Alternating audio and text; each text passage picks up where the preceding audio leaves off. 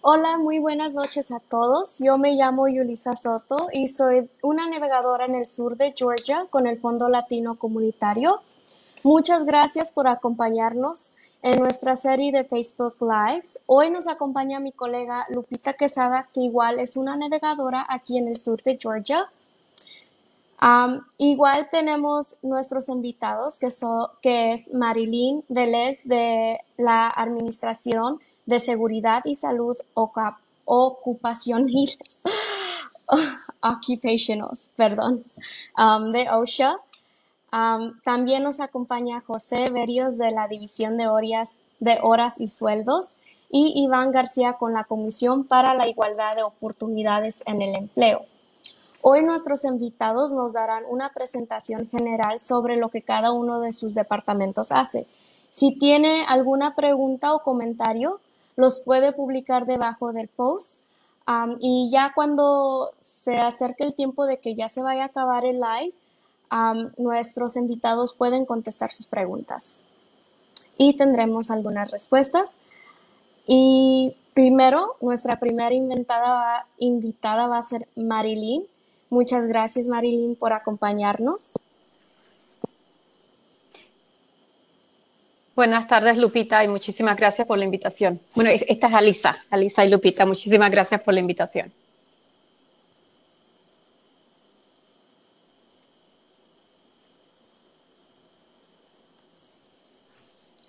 ¿Me estás escuchando?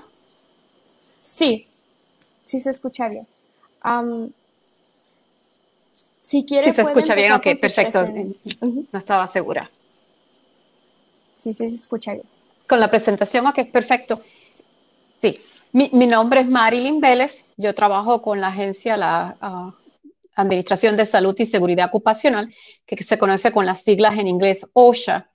Nosotros protegemos a los trabajadores, asegurándonos de que tengan un trabajo seguro y saludable. Muchísimas personas nos conocen por nuestros inspectores. O si hay una violación a nuestras regulaciones o reglamentos, o si alguien ha tenido un accidente o ha habido una muerte en el trabajo, el empleador tiene la obligación por ley de notificar a OSHA. Y uno de nuestros inspectores va a ir al área de trabajo para ah, determinar qué sucedió, hacer una investigación, entrevistar a las personas, em, checar todos los documentos de seguridad que la compañía tenga, tomar fotos, ah, caminar a través del área de trabajo esto es considerado una inspección y ya luego que el investigador o el inspector de OSHA determina que hay ciertas violaciones a nuestros reglamentos, entonces hace una multa al empleador, no al empleado, sino al empleador. Eh, varias de las ah, reglas que nosotros tenemos o, responsabilidades que, ofrecemos hacia el empleador es que el empleador tiene una obligación de ofrecer un área de trabajo libre y seguro de peligros y obviamente el empleado tiene el derecho de tener un trabajo que sea este, eh, seguro, esto sin importar cuál es su estatus migratorio aquí en Estados Unidos. Cuando un empleado llama a OSHA para poner una queja, es totalmente confidencial. Nosotros no proveemos la información del querellante hacia el empleador. O sea, si un empleado llama, pone una queja con OSHA, nosotros simplemente llegamos al área de trabajo sin notificarle de antemano al empleador que vamos a hacer una inspección y tampoco ofrecemos el nombre de la persona que está que puso la queja. Es totalmente confidencial y esto lo hacemos para evitar que hayan represalias en contra del empleado. Si sabemos que puede ocurrir que, el empleador determine quién fue el que puso la queja y trate de, de amedrantar al empleado o hasta de despedirlo y nosotros tenemos investigadores dentro de OSHA que también protegen a ese empleado luego de que esta persona puso la, puso la queja. Obviamente nosotros nuestra recomendación original es que el empleado eh, no comunique con otros empleados que él va a llamar a OSHA o que va a poner una queja, que simplemente lo mantenga totalmente confidencial, porque nosotros de nuestra parte vamos a mantener su identidad totalmente, eh, o sea, no vamos a proveer el nombre de la persona que puso la queja al empleador y vamos a proteger su identidad. Y, de esta manera podemos poderlo confidencial, pero si el empleado desafortunadamente decide em, estar comunicándose con otros empleados de que fue él o ella la que puso la queja, todavía dentro de esas circunstancias el empleado está protegido de que el empleador no haga, no tome represalias en contra de esta persona y trate de despedirle o de reducirle las horas simplemente porque él puso una queja con OSHA. Ah, quizás podría hablar, tengo una, hice una pequeña lista. Déjame y doy el número de teléfono a, medida que voy también dando la lista de los derechos que tienen los trabajadores. El número de donde ellos pueden comunicarse con OSHA y, pueden hacerlo en español. O sea, cuando ellos se comunican al número de OSHA, que el número es 1-800-321-6742, 1-800-321-6742. Eh, va a tener la opción número 2, es para comunicarse con alguien en español. También le van a pedir el código de área. Simplemente el código de área es para poderlo conectarlo con una oficina de OSHA directamente. Por ejemplo, en el estado de Georgia nosotros tenemos cuatro oficinas. Tenemos la oficina regional que está localizada en Downtown Atlanta. Tenemos la oficina en Savannah que cubre la mayor parte del sureste del estado, que sería donde la mayoría de, los agricultores o de las personas que están escuchando esta, esta grabación ah, van a, poder comunicarse directamente con esa oficina en Savannah. También tenemos una oficina en el condado de Cobb, una en la oficina de Tucker, que, que es en las dos áreas de Atlanta. Por eso es que pedimos el código de área para que entonces el, sistema pueda comunicar a la persona que está llamando directamente a la oficina que tiene jurisdicción eh, en donde esta persona trabaja o vive. Eh, ya en el momento que pone la, que lo conecta a la llamada, yo siempre he recomendado a los empleados que si en ese momento ellos no se sienten listos para dar el nombre, está bien. Usualmente lo que nosotros queremos es que los empleados se sientan con de poder llamar a la agencia, expresar cuál es su preocupación, dejar saber, eh, mira, esta es mi queja, esta es mi preocupación, puede OSHA hacer una investigación, qué va a suceder y en ese momento nosotros podemos explicar completamente cuál es el proceso y si la persona determina que sí que se siente cómodo, que se siente listo para poner la inspección, para poner la queja y solicitar esa inspección, entonces lo podemos hacer eh, en ese momento. Eh, reconocemos que especialmente con la comunidad latina o con la comunidad inmigrante en general, a veces nos tienen que llamar dos o tres veces como para eh, estar este, haciendo sus preguntas, aclarando sus dudas antes de que ellos puedan determinar si están listos para poner una queja. También tienen otra opción, la otra opción es hacer una queja, lo que nosotros llamamos una queja no formal, donde la persona dice, mira, no que venga el inspector, pero sí quisiera que eh, un representante de OSHA, que usualmente va a ser un inspector, se comunique con el empleador, les deje saber cuál es la queja, cuál es la situación. Nuevamente, nosotros no ofrecemos el nombre del querellante y nosotros podemos también hacer eso, donde no mandamos un inspector que físicamente haga una inspección al área de trabajo, pero lo hacemos por teléfono, donde llamamos al empleador, le dejamos saber cuál es la preocupación, cuál es la queja que recibimos de su área de trabajo y entonces el empleador tiene cinco días viables, o sea, de lunes a, viernes usualmente en horas de, gobierno, que ellos ah, contesten y nos dejen saber si realmente el problema existe, que ellos hicieron para arreglarlo o si ellos determinan que el problema no existe y entonces esa información se le va a dar al empleado, a la persona que puso la queja, y esa persona puede determinar si está satisfecho con la respuesta que el empleador dio a OSHA y con los arreglos que el empleador dio, o si él determina que, no está contento, que realmente, o el empleado mintió, a veces tenemos esas situaciones donde el empleador dice, sí, ya reparamos la situación, ya ya tomamos cartas en el asunto, ya está resuelto y nosotros nos comunicamos de regreso con el empleador o con el empleado que puso la queja y esta persona nos notifica que no es cierto, que el empleador no, no reparó el problema y tenemos la opción entonces de solicitar al empleado, ¿quieres entonces que enviemos a un inspector de OSHA tu área de trabajo? Y ahí entonces el empleado puede tomar la decisión si, si gusta o no gusta que, entonces ahora tengamos una inspección formal con un inspector.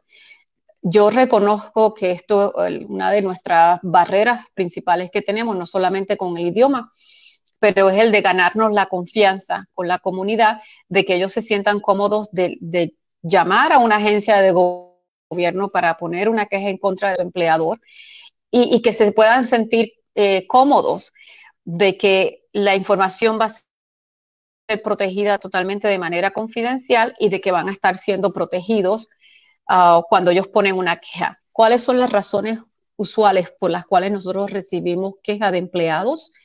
Usualmente el empleado les está, el empleador le está exigiendo que hagan un tipo de trabajo que ellos saben que es peligroso. Quizás, por ejemplo, les están eh, pidiendo que utilicen una maquinaria que ya ellos saben que la maquinaria está defectuosa, que no está siendo bien mantenida, que empleados están, han sido lastimados anteriormente y el empleador por una razón u otra no repara ese, eh, ese equipo o esa maquinaria y está solicitando a empleados que la continúen utilizando. Recibimos llamadas donde los empleados llaman y dicen, mira, tengo miedo, ya no quiero seguir trabajando con esa maquinaria porque ya han habido personas que se han lastimado y yo no me quiero lastimar. Eso es una queja muy común. Otra de las quejas que recibimos es que no les han dado el equipo de protección adecuada, donde ellos están siendo expuestos ya sea a químicos o a otros problemas en el área de trabajo y ellos ruidos, vapores, o sea, y ellos no están siendo ah, provistos con el equipo de protección adecuada y ponen quejas sobre esto. O, o que ellos de repente están diciendo, mira, fui y quejé con mi supervisor porque les estoy diciendo que ellos no nos están protegiendo, de que quizás nos están haciendo trabajar con, equipo o con ah, químicos que son peligrosos. Y ya de repente me empezaron a cortar horas. Y lo de cortar horas, sé que Wage Hour también, el Departamento de Salario de Horas va a hablar más de eso, pero nosotros también podemos envolvernos en esa parte porque es directamente donde hay una represión, donde el empleado se quejó por las condiciones de trabajo y el empleador, como una manera de amedrentarlo o de hacerlo que se calle, o sea, de que ya no siga quejándose de la, situación peligrosa, le empieza a correr para que entonces el empleado diga, bueno, ya, no, no, no, no quiero que me hagan esto. Nosotros también podemos hacer una investigación por esa parte. Eh, obviamente el empleado tiene derecho totalmente de expresar su preocupación, su miedo a, estar trabajando con un área peligrosa y no tiene que estar preocupándose de que lo vayan a despedir o de que le vayan a cortar sus horas. Eh, es totalmente la responsabilidad del empleador de proveer este tipo de, de área de trabajo segura y de tomar pasos razonables para asegurarse de que, de que todos sus empleados están siendo asegurados nuevamente sin importar cuál es su estatus migratorio. El empleado también tiene derecho a recibir entrenamiento de seguridad en su idioma. Entonces, eh, si por ejemplo el empleador está ofreciendo el entrenamiento solamente en inglés y está simplemente asumiendo que si hablas o no hablas inglés, ese no es asunto mío. El entrenamiento se está ofreciendo solamente un idioma inglés. El empleado tiene derecho a quejarse porque parte de nuestras regulaciones claramente explica que el entrenamiento de seguridad tiene que ser provisto en un idioma que los empleados, que, los empleados entiendan. Por lo tanto, si los empleados no hablan inglés y hablan español o cualquier otro idioma, ese entrenamiento de seguridad tiene que estar provisto en el idioma que ellos entiendan para asegurarse de que ellos sí entendieron qué es lo que tienen que hacer para protegerse. Um, eh, tienen derecho a recibir equipo de protección de manera um, gratuita y sé que, esto es un área gris porque hay ciertos tipos de, de equipo, por ejemplo, los zapatos de seguridad o las gafas de seguridad donde tengan eh, prescripción eso no necesariamente la ley dice que el empleador tiene que ofrecerlo de manera gratuita, pero ya todo lo, que son los guantes, la protección para los oídos, las gafas de seguridad que no son, que, no son con medicamentos, o sea, las gafas de seguridad normales, eh, ese tipo de equipo de protección sí tiene que ser provisto ah, de manera gratuita a todos los empleados. Eh, los empleados también tienen derecho de saber y de tener conocimiento claro de cuáles son los químicos que ellos están utilizando y cuál es la protección adecuada que ellos deben utilizar cuando están trabajando con ellos. No sé si tengan alguna pregunta, sé que dije bastante y quizás este es un buen momento para parar y, y recibir algún tipo de pregunta.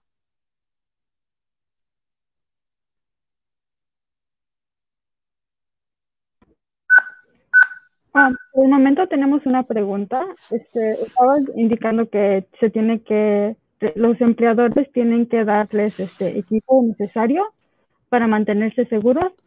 Ahorita que estamos pasando por esta pandemia, exactamente. Las mascarillas se consideran equipo gratuito que deberían de proveer los empleadores.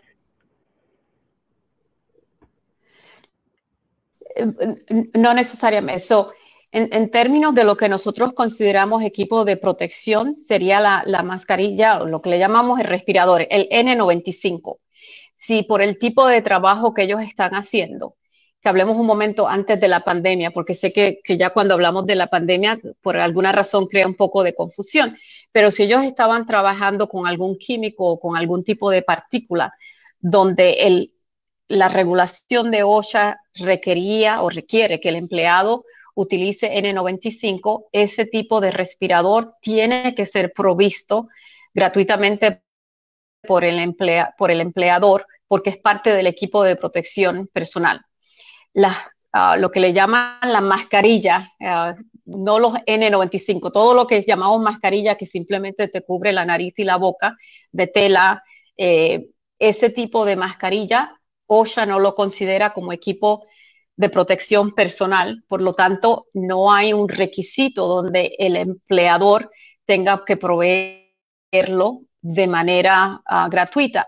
Sí hay unas recomendaciones, obviamente CDC recomienda que ellos utilicen este tipo de mascarilla y en muchísimas áreas de trabajo las están ofreciendo de manera gratuita o, les permiten a los empleados utilizar la, la que ellos más les convenga. Hay algunos sitios de trabajo que dicen no, todos van a utilizar la misma mascarilla y nosotros vamos a ofrecerla de manera gratuita, pero la regulación como tal no requiere que el empleador provea la mascarilla de manera gratuita si el respirador, si, el tipo de trabajo que ellos están haciendo, es más, si el empleador decidiese que todos sus empleados van a utilizar N95 eh, como tipo de protección, entonces él va a tener que ofrecer ese tipo de equipo de protección protección de manera gratuita.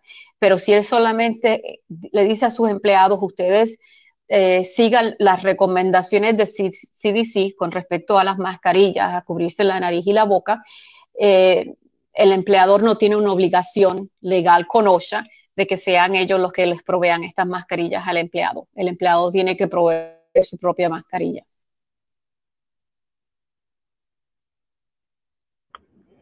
Muchas gracias. Ah, por el momento son las únicas preguntas que tenemos. Ah, no sé si Ulisa. Ok. entonces vamos a seguir con nuestro segundo invitado, que es José Berrios de la División de Horas y Sueldos. Muchas gracias, José, por acompañarnos hoy. Buenas, saludos Ulisa, saludos Lupita y Iván y Marilyn que están aquí mm, compartiendo este momento. Mi nombre es José Luis, soy investigador de la visión de horas y salarios. Nuestra prioridad eh, para, para, la protección de los derechos de los trabajadores agrícolas corresponde en cotejar que lo que son derechos laborales de los trabajadores de campo se estén manteniendo protegidos. Es bien importante y una pregunta que, que muchas veces recibimos. Eh, José Luis, pero ¿qué pasa si tengo o, no tengo papeles o si tengo o no tengo documentos? ¿Eso afecta a mis derechos laborales? La respuesta a eso es no. El estatus migratorio de una persona para efectos de las regulaciones de la división de horas y salarios no afecta los derechos de esa persona.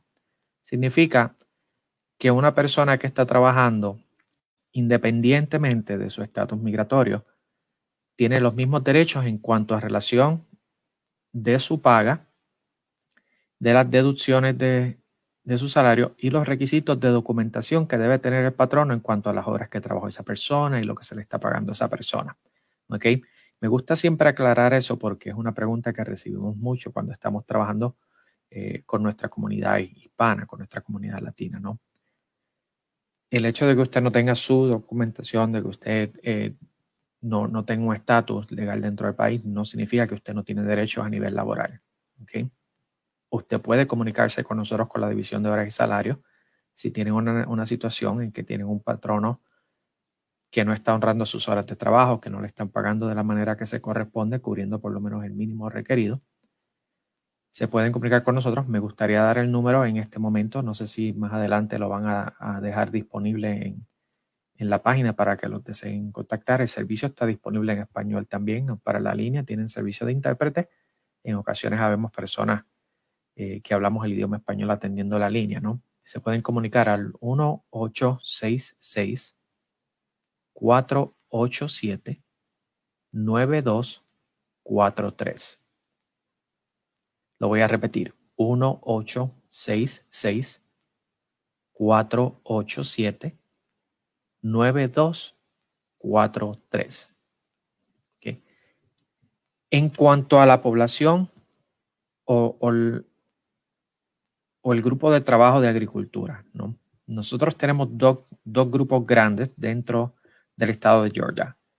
Los trabajadores de H2A o los, o los que dicen, o los, a veces los llaman trabajadores de visa o los llaman trabajadores por contrato, es una comunidad muy grande que se está dando dentro del trabajo agrícola en el estado de Georgia, ¿no?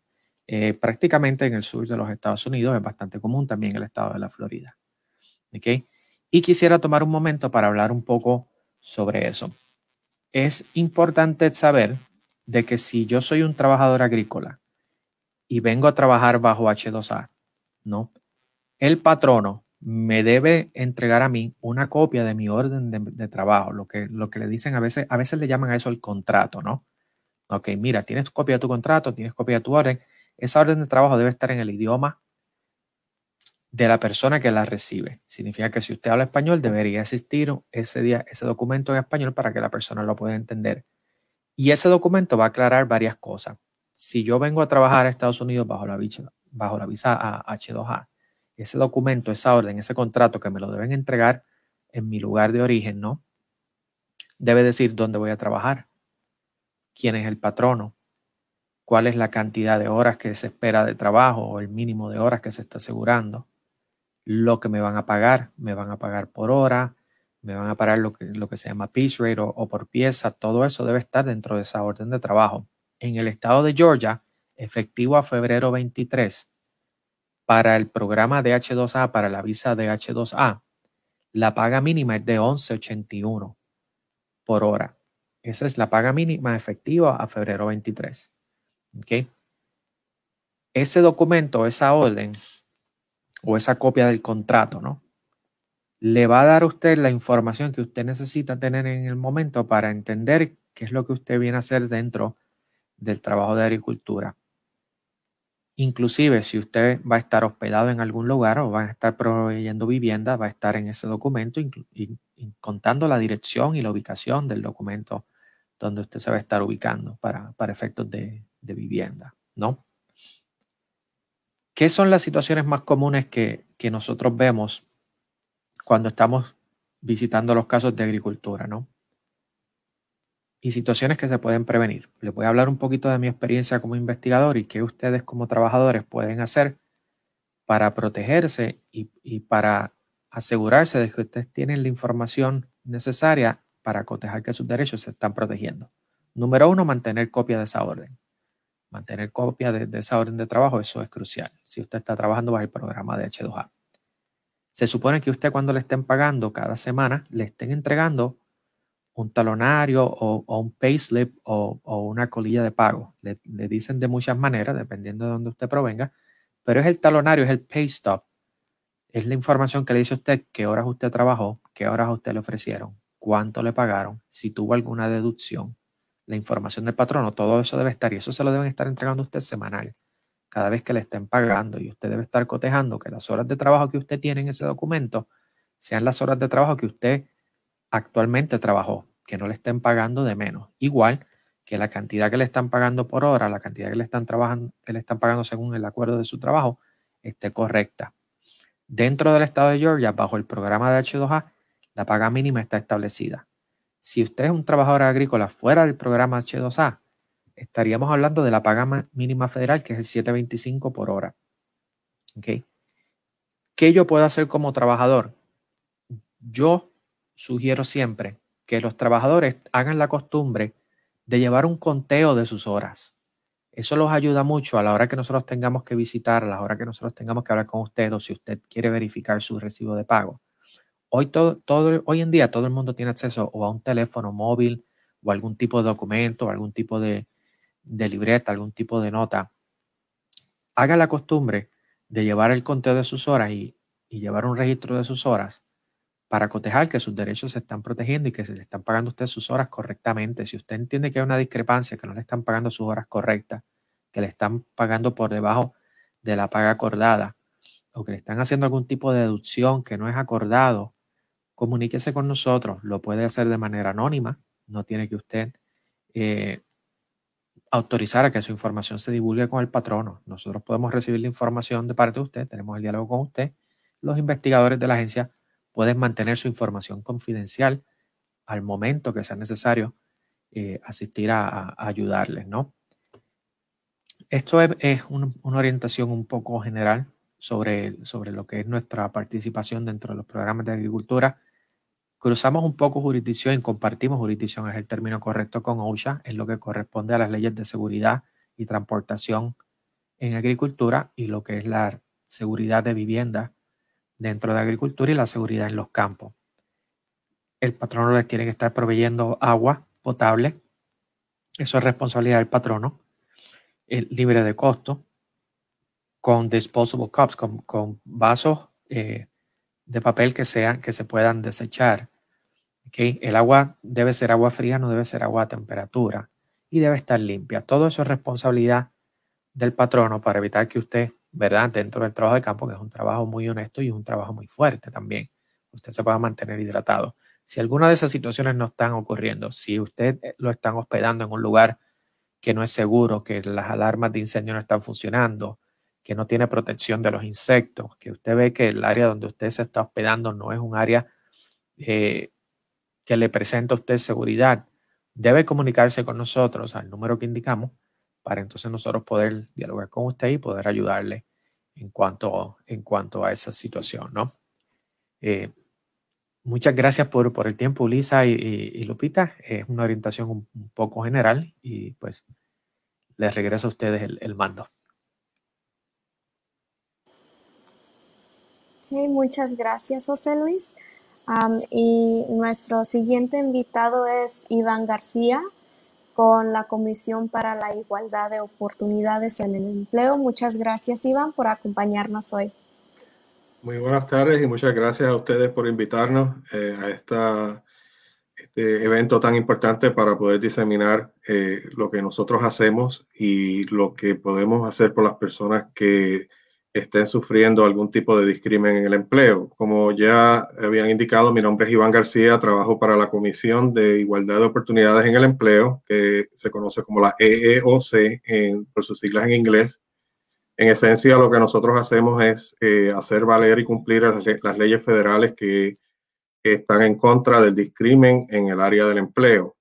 En esencia, eh, todo, todo tipo de relación obrero-patrono donde exista eh, este tipo de, relación ¿no? entre el empleado y, un empleador y usted entienda que está sometido a algún trato, algún tipo de trato desigual, que básicamente es lo que comprende eh, la discriminación por diversas categorías, las cuales nosotros eh, trabajamos a través de las leyes federales que hacen que se vele por el cumplimiento de estas situaciones. En esencia tenemos, por ejemplo, si está el discrimen, ya bien sea por raza, por color, eh, religión, eh, ya usted tenga una práctica religiosa y necesite algún tipo de acomodo eh, razonable en términos de usted poder practicar su, su religión y que no conflija con su trabajo, sexo, lo cual también pues incluye no solamente masculino, femenino, Incluye también embarazo, situación de embarazo, eh, situación de identidad de género y orientación sexual. Tenemos también el origen nacional, lo cual puede ser muy importante porque usted puede estar trabajando en un área, para poner un ejemplo, donde todos los em, empleados sean eh, hispanos, vamos a decir, por ejemplo, pero hay diferencias en términos de los grupos del origen nacional de cada uno de esos empleados. Y e, existe algún tipo de trato desfavorable y usted crea que es por su origen nacional, pues también puede poner una queja con nosotros.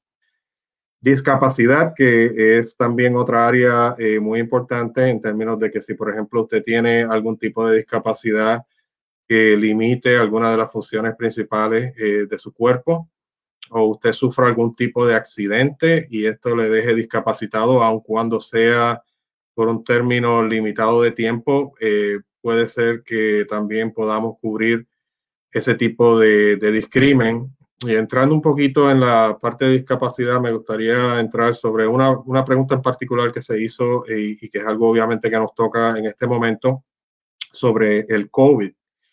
Eh, la comisión, eh, en términos del COVID, existen un tipo eh, de reglas y de, de guías que se han promulgado, pero esto es algo muy novel, es algo que está ocurriendo día a día y en términos de las decisiones de la Corte y de los casos que nosotros hemos visto, pues todo ha ido evolucionando. En esencia, eh, yo diría a modo general, si usted tiene algún tipo de condición persistente donde eh, esa condición usted entienda que puede ser exacerbada por eh, contraer el COVID, puede ser que usted eh, pueda ser cubierto por la, ley de discapacidad, en contra de discapacidad. O por ejemplo, si usted lamentablemente pues eh, contrae el COVID y esta, esta enfermedad le conlleva otro tipo de condiciones que puedan extender el tiempo en el cual usted tenga que estar, por ejemplo, hospitalizado, también pudiese ser que podamos cubrir bajo nuestra ley de discapacidad ese tipo de situación. Otra pregunta que se había hecho con relación al COVID es la pregunta sobre eh, las vacunas, es algo que está ocurriendo y que ha, comenzado a ocurrir y va a seguir ocurriendo, y eh, sobre cuál sería su derecho de, de negarse y si, y si va a estar cubierto por las leyes que nosotros trabajamos. Bueno, en esencia, eh, existen dos ejemplos básicos donde pudiésemos tener algún tipo de, de injerencia en una situación como esta. Uno sería el que usted tenga una condición que al usted consultar con su médico entienda que el, el tener que, que, se le administre la vacuna pudiese conllevar eh, riesgo médico o algún tipo de, de, consecuencias mayores, que el daño sea mayor que, que, lo que sería el beneficio. Pero esto ya tiene que estar eh, ya, eh, como diríamos, justificado por una orden médica donde se está indicando, no es simplemente pues porque usted crea que eso es lo que le va a ocurrir, tiene que tener algún tipo de documento médico que justifique e indique que usted eh, está en un área de riesgo si eh, fuese a ser vacunado. La otra área que fue algo que acabo de, de hablar un poco es el área de religión. Existen ciertas personas que sus creencias religiosas eh, incluyen el no, el, no, el no vacunarse. Y hemos tenido estos casos anteriormente, por ejemplo, con la vacuna de, del flu, donde básicamente pues la persona por creencias religiosas no, no, no se vacuna.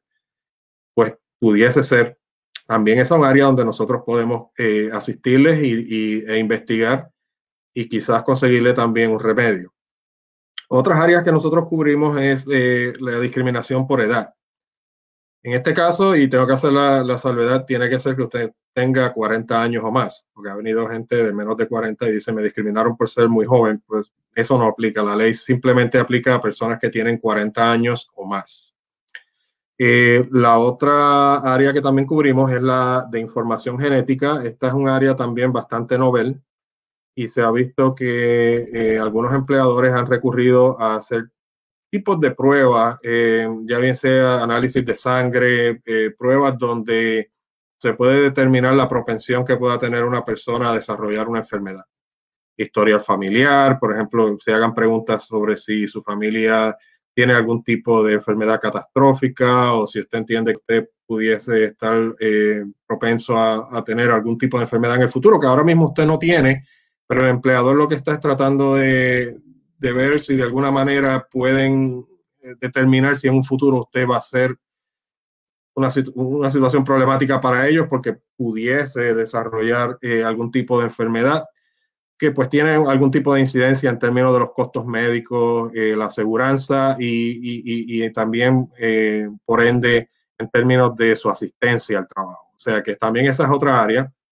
Y por último, todas estas leyes cubren represalias. Si por alguna razón usted entiende que por usted haber hecho una queja, su patrono toma una acción de represalia, aun cuando usted no tenga necesariamente los méritos en su queja, el solo hecho de usted eh, quejarse, que es su derecho como tal, y que el patrono tome algún tipo de acción adversa en su contra, ya constituye, más probable que no, un tipo de represalia que también eh, nosotros cubrimos. En términos de todo esto que les acabo de hablar, existen unos términos de jurisdicción, o sea, eh, existen ciertos límites en términos de cuántos días usted tiene para poner una queja con nosotros. Nosotros cubrimos empleados que trabajen para el sector privado y que trabajen para el sector público. El número de días que usted tiene son 180 días calendario para poner una queja desde la última acción adversa de empleo que usted sufrió. Eh, obviamente, pues normalmente la última acción adversa que se puede sufrir en una, situación de, de, empleo sería que le despidan. O sea que si esa es la última acción que ocurrió de esa acción, usted tiene 180 días calendario para poner una queja con nosotros. Lo otro es el número de empleados y esto es algo que en otras ocasiones eh, cuando hablamos de esto las personas nos preguntan pues que eh, la ley limita y pone estos términos jurisdiccionales en términos del número de empleados para que tenga una compañía para usted poner, poder poner una queja término del título 7 y la ley de discapacidad, el título 7 es la que cubre raza, sexo, color, religión, eh, religión origen nacional, eh, tiene que ser 15 empleados o más. La compañía tiene que tener 15 empleados o más. En el caso de discrimen por edad, la compañía debe tener 20 empleados o más. Existe eh, una, una área adicional que nosotros cubrimos, que es la de igualdad de paga. Si usted entiende que como mujer, que es algo que se ve eh, muy corrientemente, lamentablemente, una situación donde como mujer usted está realizando la misma posición, las mismas eh, funciones y está en el mismo puesto que su contraparte masculina, usted puede poner una queja de igualdad de paga porque usted entiende que se le está pagando menos que a su contraparte del sexo opuesto. Esto también puede aplicar a hombres, o sea, si usted es el hombre y entiende que a las mujeres pues le están pagando más, eh, también la puede poner, pero en la mayoría de los casos, eh, lamentablemente y estadísticamente, lo que hemos visto es que a las mujeres son las que se, se les paga menos por, el, por igual trabajo, por la, la, misma, la misma posición. Y para esto no necesita tener básicamente eh, un mínimo de empleados. Basta con que usted esté en esa posición y usted se compara con la persona que estaba anteriormente sea que no tiene que haber un límite en términos de esta ley en particular. Eh, no vemos el estatus migratorio, también al igual que nuestros otros compañeros de las otras agencias, eh, nosotros no tomamos eso en consideración, así que no debe preocuparse por eso. Y me gustaría dejarles el número. Tenemos una página eh, de internet que es la eeoc.gov, eeoc.gov, en esa página usted puede poner quejas, puede conseguir información adicional, ejemplos sobre situaciones que nosotros cubrimos y los términos jurisdiccionales de los cuales también les hablé.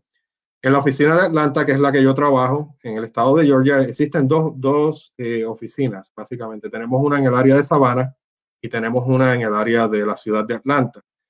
El número, de la, el número general para la EEOC en Atlanta es el 1 800 6 669 4000. 1-800-669-4000. Si no tienen ninguna otra pregunta, agradezco la oportunidad. Ok, muchas gracias, Iván.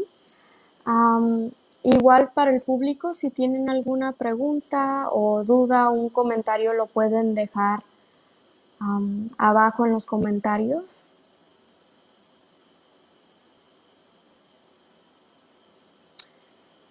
Y en lo que esperamos, si sí hay una pregunta, igual nomás les recuerdo el número de Administración de Seguridad y Salud Ocupacionales. es el 1-800-321-6742. Y el número de división de horas, igual se los recuerdo, es el 1-866-487-9243. Y el número que Iván igual acaba de decirnos es el 1-800-669-4000.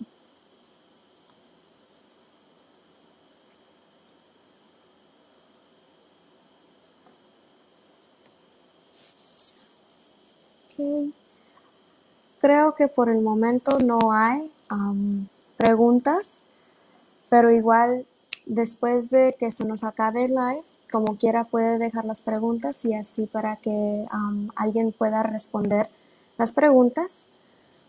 Y pues muchas gracias a todos nuestros invitados por acompañarnos hoy. Y muchas gracias a los que nos están viendo ahorita en Facebook Live por tomar su tiempo.